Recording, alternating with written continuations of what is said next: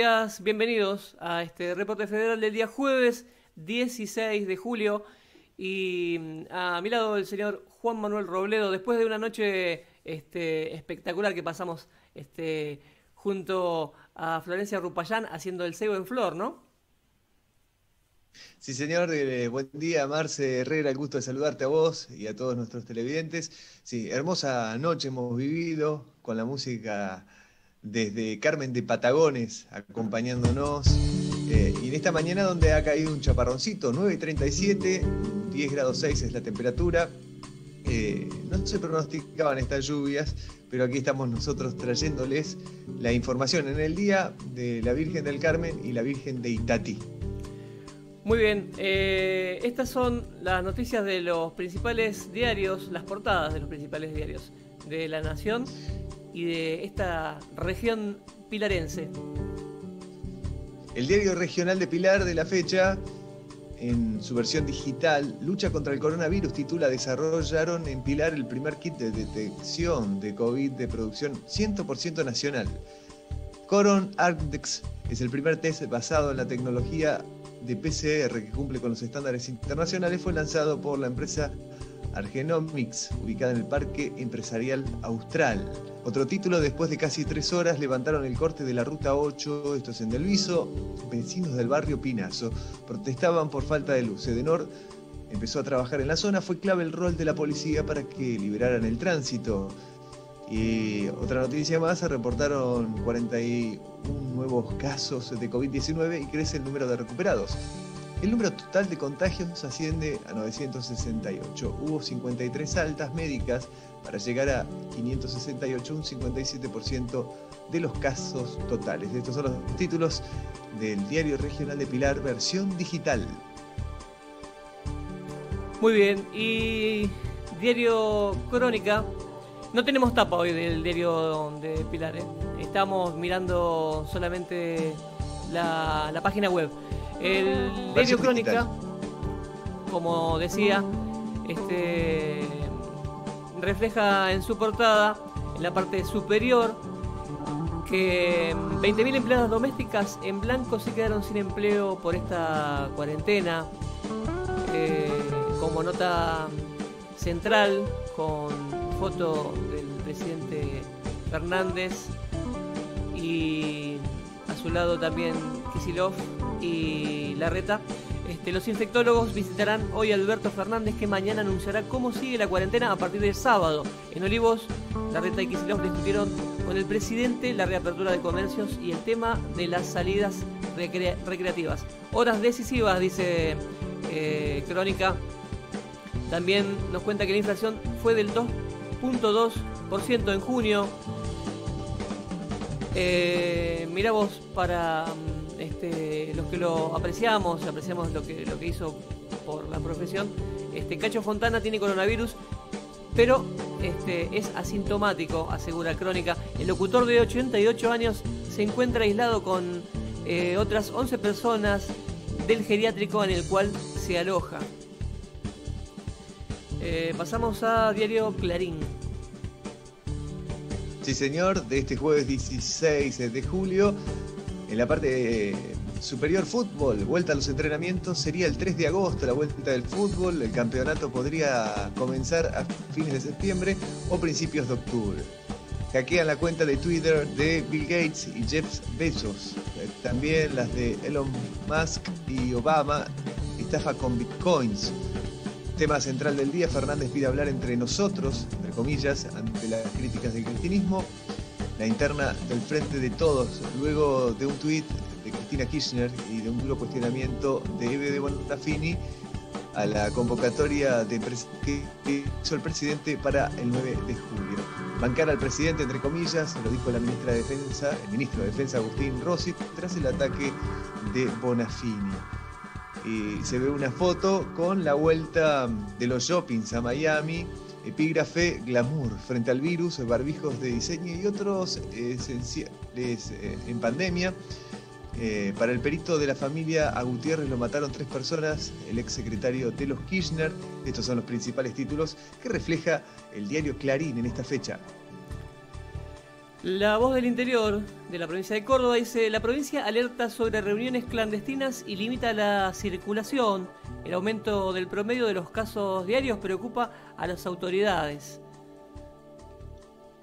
El cronista comercial nos dice en el día de hoy, jueves 16 de julio, a pesar de la fuerte contracción de la economía, junio fue el mes de cuarentena de mayor inflación.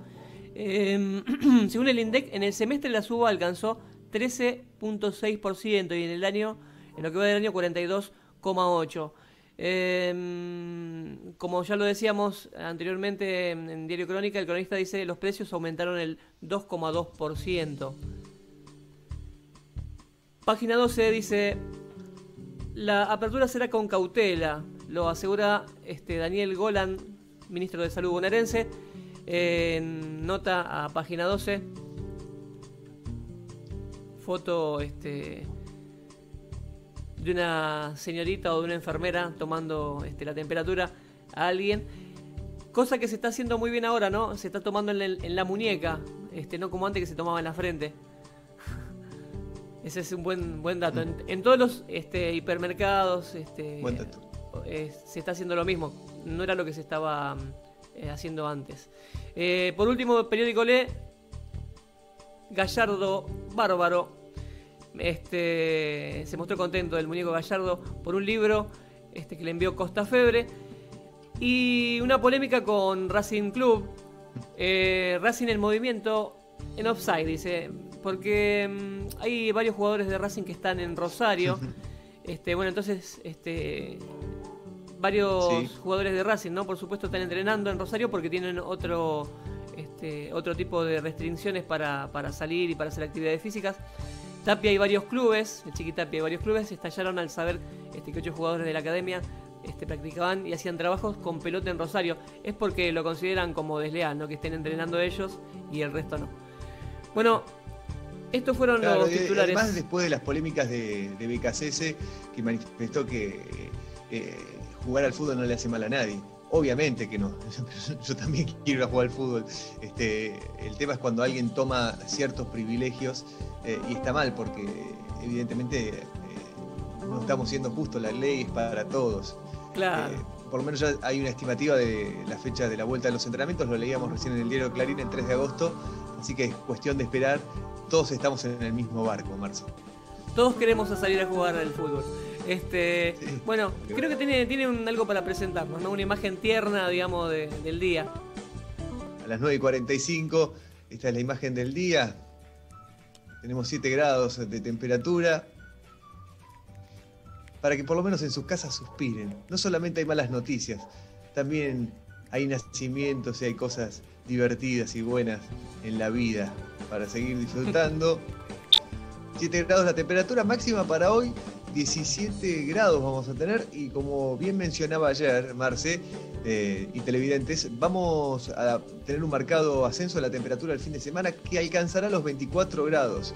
Esta lluvia, este chaparrón que tuvimos hoy era totalmente inesperado, así que vamos, vamos a esperar para que vuelvan a caer también precipitaciones, pero estos serán a partir del lunes o martes de la semana que viene, el fin de semana por lo menos para salir un ratito en remera a dar una vuelta manzana, así lo permitió el gobierno. Bueno, nos despedimos hoy con un video este, de unos grandes amigos de este, David Márquez y José Luis Taboada. El grupo se llama Brutus Group.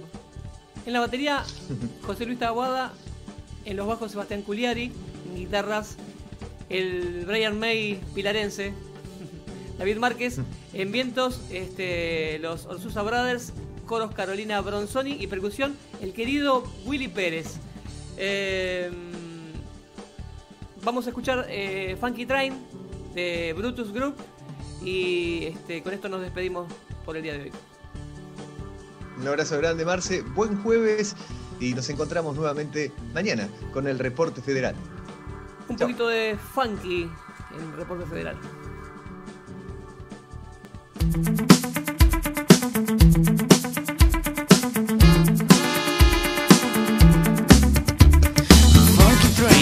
away,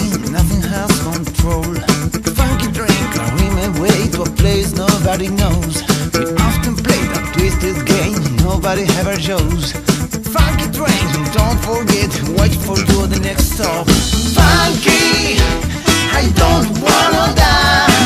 With going around. Funky, I need to throw away fears and the crawling from the past. Could you come to rescue me every day? Could you come to rescue me every day?